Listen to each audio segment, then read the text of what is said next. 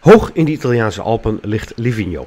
Een plek door veel schaatstrainers als ideaal bevonden om hun teams van een flinke dosis uithoudingsvermogen te voorzien. Op hoogte fietsen en inlinen, het kan er allemaal. Met name de fietstrainingen zijn pittig, bergpassen op en af is een dagelijkse bezigheid. Het is dus niet voor niets dat bandtrainer en ploegleider Jillet Anema deze plek uitkoos om de ploeg op scherp te zetten. Een van zijn rijders die afgelopen seizoen opviel door mooie prestaties is Jorrit Bergsma. Nationaal natuurreiskampioen en de revelatie op de 10 kilometer. De rustige Fries uit Aldeborn heeft onder leiding van Jillert al grote stappen gemaakt, maar kan nog meer.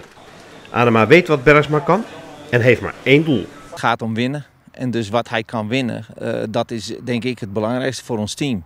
En uh, ja, we zullen ook dit seizoen weer kijken uh, wat Jorrit kan winnen. En daar zullen we hem inzetten.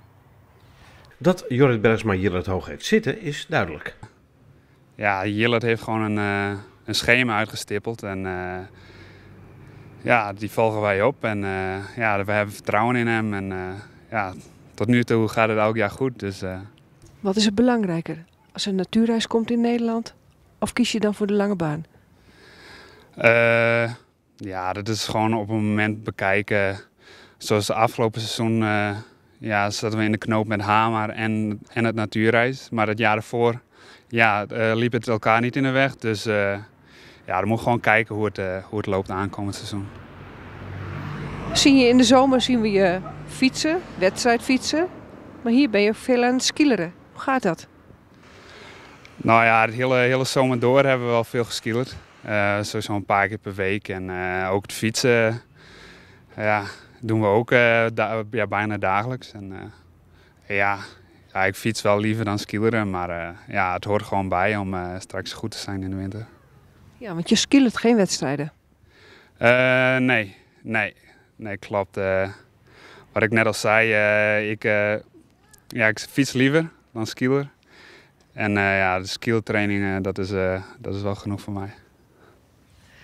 Wat is je eerste doel dit seizoen?